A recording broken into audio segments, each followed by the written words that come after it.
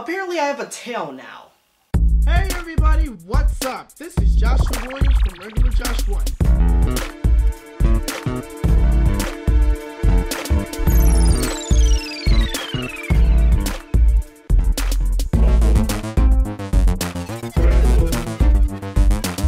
Hey everybody, what's going on?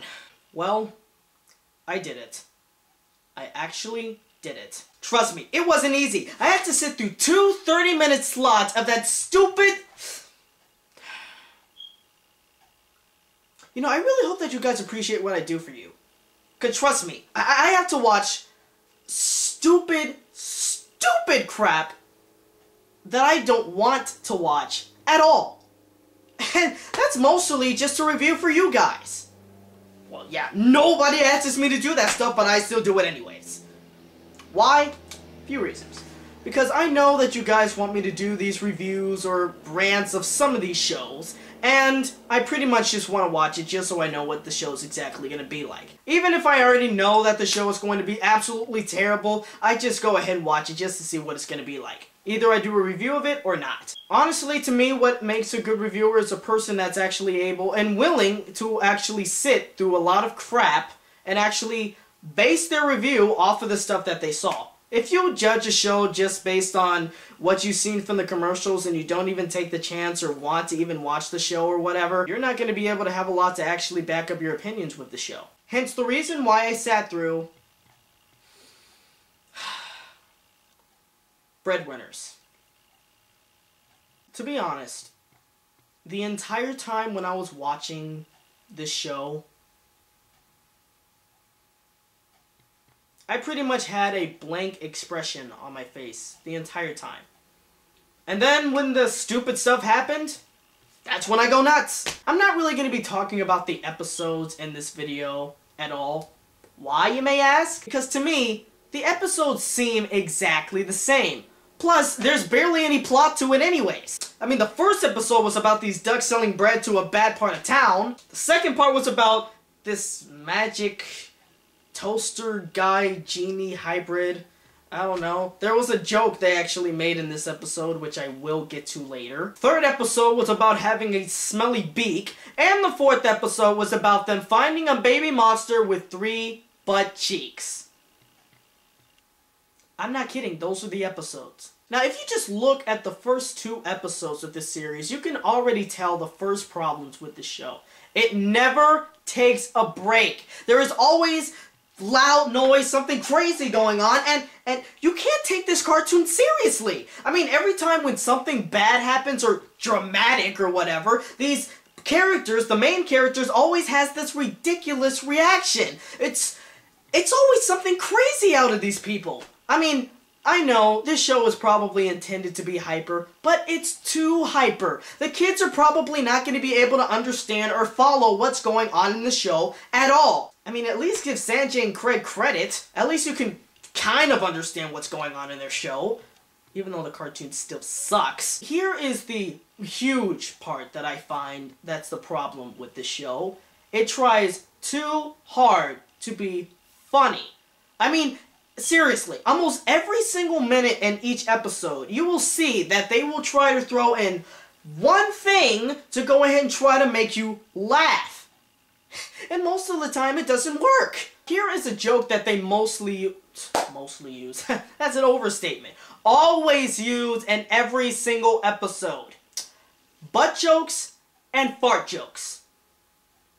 Yeah, I mean, where else have I seen that before? But that's not the only problem with this.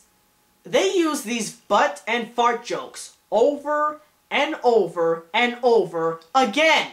It's like the show will die off if they stop using these jokes. There is one joke that they also use almost all the time where Badoosh, this duck right here, which, let's be honest, it sounds like his name is Badoosh, explodes every single time when he gets scared or when something bad happens. Now, I'm pretty sure there are going to be a few kids that are laughing at that though, but trust me, they will get very bored easily of that joke. Because it's in, it's almost in like every single episode. Every single episode that I've seen, he's been exploding. It's like, it's not funny. And then there's also something else that they mostly do in almost every single episode, which involves their butts. They twerk. Why? I don't, I don't know. It's a trend. That's all I got. For some reason, twerking has become a trend ever since late 2013. I mean, twerking has been along for a long time, but for some reason, late last year, it became a trend. Just like how selfies are turning into a trend now. Why? I don't know, YOLO something. Okay, so back to the cartoon. Honestly, I don't think I have that much to say about it anymore. Don't even get me started on the animation. I already talked about it in my other video, I am not talking about that again. The only thing that I can really say about this show is that the characters Buhdeuce and Shway Shway, okay, honestly, who came up with these names? Are one of the most obnoxious characters ever. Speaking of obnoxious, almost every single cartoon on Nickelodeon is absolutely obnoxious. We got Rabbids Invasion, SpongeBob, Sanjay and Craig, this show. Now here is something that all these four shows actually have in common. One, they all have butt jokes. However, Sanjay and Craig and Breadwinners both have fart jokes. Yeah, because apparently Nickelodeon only thinks that kids actually find butt jokes and fart jokes funny. They even have a commercial saying that farts will always be funny. They're not. But you want to know how bad it's gotten? Like, seriously? I mean, I'm pretty sure a lot of you guys actually know about that whole fart game that they were coming up with on Nickelodeon. But this has to do with breadwinners and what they've done in their cartoon. And this is the joke that I was talking about. So Buhdeuce and Sway Sway happened to go ahead and actually summon that toaster guy that I've been talking about. And Buhdeuce asks him the question, do you poop? Just keep listening, it gets worse. So, after he asks that, the guy says, Of course I poop. Everybody poops. And then Buhdeuce says, I bet it smells like freshly baked bread. Are you serious? Why would anybody ask that sort of question? I mean, seriously, that's not funny! I mean, what if I brought my crazy cartoon series back, and then when Pikachu and Pignite are having a conversation, I put this in? So, you're a Pignite. That's pretty cool. Yep. I mean, it's a pretty big thing. I mean, you're at your second stage, then you're gonna. you poop? What? Well, Why I, would you ask that? I just wanted to know. You don't just ask things like that. I mean, that's just weird. Well, I'm pretty sure your poop is in the shape of a lightning bolt. I'm out of here. See? It's freaking weird and random. And it's not funny. Now, here's the last thing that I do want to say.